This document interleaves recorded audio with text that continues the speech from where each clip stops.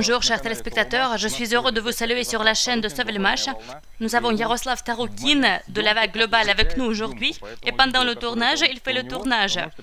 Les vidéos qu'il va faire, vous pourrez la voir sur la chaîne La Vague Globale. Voilà. Très bien. Yaroslav, nous vous avons invité pourquoi. Vous savez, la partie qui concerne l'investissement participatif du projet, vous y avez participé directement et vous avez parlé à un public énorme. et j'ai bien vérifié, ce sont des centaines de milliers de vues sur votre chaîne. Beaucoup de gens ont appris des choses sur le projet, sur la possibilité de le réaliser, sur le fait qu'on peut y participer. Qu'est-ce que vous ressentez en fait? Vous voyez cela derrière vous? Vous vous êtes engagé en quoi en fait? C'est que le développement comme cela, vous savez, c'était là au moment de la création de la vague globale. Je comprenais que parmi nous, il y a des gens qui ont des choses à offrir à la société. Mais comme elles peuvent être timides, modestes, comme l'espace peut être censuré, comme il peut avoir des autorités fausses, des gens n'avaient pas l'accès à certaines choses. Et donc j'ai eu l'idée que qu'on peut profiter de la numérisation et on peut faire des bonnes choses avec. On peut faire des reportages sur des individus et on peut tout mettre dans les réseaux sociaux parce qu'il y a des gens qui recherchent des gens de ce genre, ils veulent se réunir avec eux. Et grâce à cela, la vague globale est née. Cela impressionne, oui, d'accord, c'est une construction en métal, c'est un grand territoire, mais en fait, beaucoup de gens se sont réunis et ont créé une communauté. Ça, c'est une construction en métal, et derrière nous, il y a une communauté qui a été également créée. Et je suis très heureux que l'outil d'interaction est là. Et mes activités ont prouvé d'être utiles et cela se matérialise en des choses concrètes. C'est superbe. Bah oui, c'est fabuleux. Rien à ajouter. En revanche, il y a une chose intéressante. Il y a une opinion je l'attends de certains gens de temps en temps, qu'il est difficile de croire en certains projets. Il est difficile de croire en l'idée de quelqu'un et en la possibilité de la réaliser parce que le monde est ainsi, il y a un contexte particulier. Voilà, que tout est inutile, cela ne sert à rien, il n'y a pas de sens. Mais à mon avis, le projet que vous avez créé, la vague globale, cela parle de beaucoup de possibilités, beaucoup d'opportunités. Et le projet Sevelmash, qui a fait partie de cette histoire de la vague globale, a prouvé par son existence même que qu'un tir a été effectué, un vrai tir de contrôle dans la tête. Tout a grandi sous nos yeux en 70 jours, un vrai géant. Et c'est superbe qu'il y ait des plateformes comme celle que vous avez créée où l'on peut parler d'une idée, des pensées portant sur comment réaliser cette idée et commencer le vrai travail. Merci, merci beaucoup pour cela. Bon, merci, merci, ce sont des paroles, ce n'est pas une tasse de chocolat, vous savez. Qu'est-ce que je voudrais dire, chers amis Ce bâtiment, cela fait cinq ans qu'on le construit. Et je voudrais bien développer ce sujet. Bon, pas 5 ans, un peu moins, mais bon, quand même. Les caméramans de Savelmage peuvent bien éteindre leurs caméras, mais la vague globale continue avec leurs propres caméras. Nous allons tout vous montrer. Je vous rappelle que la vague globale, c'est un projet pour créer des conditions pour que la civilisation passe à un autre niveau. J'ai vu par exemple que parmi nous, il y a des gens qui ont des brevets fermés pour l'énergie autonome déconcentrée. Cela veut dire que nous pouvons déconcentrer les mégalopoles et créer de nouveaux types de transports. La création de cet ensemble de production, à mon avis, moi je suis futuriste, vous savez, c'est quelque chose d'anachronique. Il faut créer des soucoupes volantes, quelque chose comme ça, investir des tonnes d'argent dans du sable, du béton, bah, c'est du passé quoi. Alors, il s'agit de quoi? Tout cela nous a montré qu'il est possible de créer un bâtiment. Un petit bâtiment. Qu'est-ce que c'est que ce bâtiment à l'échelle de la planète? Rien. Mais notre tâche, c'est de réunir tous les gens partout sur la planète. Des technologies de percée peuvent venir dans nos vies uniquement dans des buts paisibles et les militaires et les politiques ne vont jamais suivre cet algorithme. Ce n'est que la société libre qui peut bien entendre le message et nous permettre de nous réunir dans des réseaux de neurones qui nous permettront d'être en communication permanente. Et cela, vous savez, tout est dans le cadre législatif courant, etc.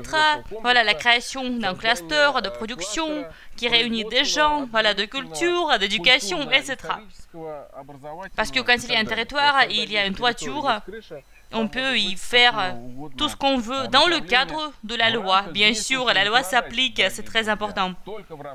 À vous la parole. Yaroslava, je voudrais bien saisir l'occasion et avoir une discussion avec vous. De façon amicale, bien sûr. Vous avez dit 5 ans. Bon, pas 5 ans, je l'ai déjà dit. Moins de 5 ans. Cela a commencé depuis le moment où nous avons obtenu tous les permis. Oui, oui, euh, bien sûr que tout le monde peut aller sur le site de Sevelmash et voir tous les détails. Brièvement, nous sommes dans une colonie où il y a la gestion coloniale. Ce bâtiment aurait pu être construit il y a trois ans, mais les problèmes bureaucratiques, tous les passeports, les certificats, etc., et l'aide soi-disant du gouvernement vous savez, des bâtiments comme cela doivent être construits en six mois si nous voulons être un pays avancé. Et c'est possible. Et cela m'attriste que ce n'est pas de votre faute, oui. C'est de la faute du système où nous sommes. Et je suis heureux que je suis venu et nous pouvons le dire au grand public. Maintenant, il y a beaucoup de députés mais il n'y a aucun député ou aucun candidat au poste présidentiel. Personne ne parle d'énergie libre. Les talibs seulement ont dit qu'ils effacent toutes les dettes d'énergie et ils invitent les ingénieurs, c'est-à-dire. Et moi, j'ai posé la question, si un ingénieur russe écrit au gouvernement afghan, est-ce que cela sera considéré comme une violation? Bah oui, c'est un organisme interdit. Bah, c'est un paradoxe. Mais le monde de l'islam blanc et le taliban, c'est blanc sur leur drapeau, c'est la vérité de l'islam.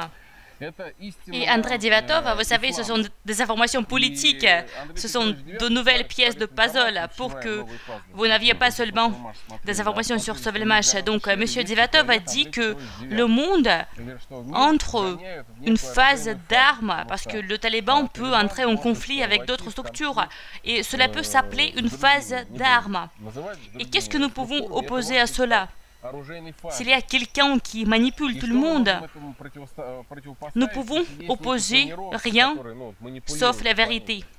La transparence, l'ouverture, mettre des caméras ici, dans cet espace, montrer à tout le monde comment vous faites tout cela. Vous avez suivi ce chemin de transparence. Et il faut aussi se réunir. Il faut des serveurs pour garder les vidéos et où prendre ces serveurs, prendre à location ou avoir tout ici sur ce territoire. Oui, et moi je voudrais parler de la mission de Sevelmash. Ce bâtiment-là, c'est un produit de notre travail. Ce n'est pas le but du projet, c'est la tâche qui est nécessaire pour réaliser le but. Et quand nous réalisons le but du projet, avoir du profit, commercialiser de la technologie, ce qui est très logique dans le monde d'aujourd'hui. Quelque chose de développé, quelque chose de fait pour avoir du profit. Mais pour que cela se réalise, il faut rappeler que c'est un bureau d'études technologiques. Depuis les années 80, à ce que je sais, des bâtiments comme cela n'ont pas été créés. Et quand nous avons créé le projet de ce bâtiment, vous savez, ce n'est pas parce que nous voulions faire quelque chose d'unique, non. C'est parce que c'est nécessaire. C'est nécessaire pour former une certaine école. C'est nécessaire pour éduquer les ingénieurs, les spécialistes, la jeune génération, etc.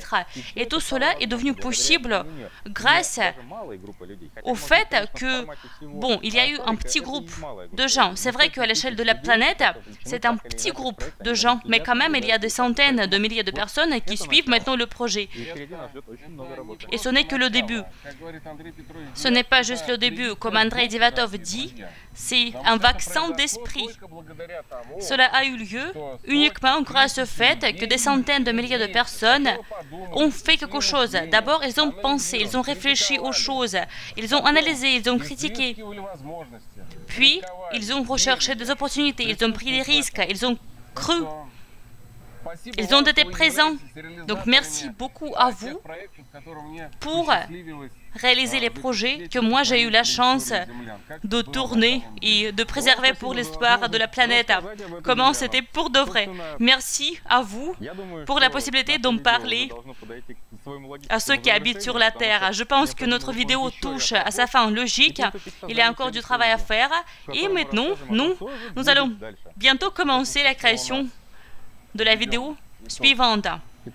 Alors, pour faire le bilan, on est quoi Le 15 et le 16 Le 17 On est le 17 C'est très très bien. Vous êtes un peu à la ramasse ou quoi Vous savez, quand on est engagé dans le flux de travail, dans le processus de travail, le temps se ralentit. C'est ce qu'on ressent. On est le 17 août 2021, match et on était actuel. Nous l'avons bien fixé. C'est ma première fois ici. C'est ma première visite sur le site. Dmitri Alexandrovitch nous a invités, non pas pour euh, se frimer, mais pour fixer les résultats préliminaires, intermédiaires. C'est tout. Bien tourné. Merci, chers téléspectateurs. Venez sur la chaîne de Yaroslav. Regardez bien la vidéo qu'il a tournée, qu'il continue à tourner. Écrivez vos commentaires. Qu'est-ce que vous pensez de ce format? Au revoir.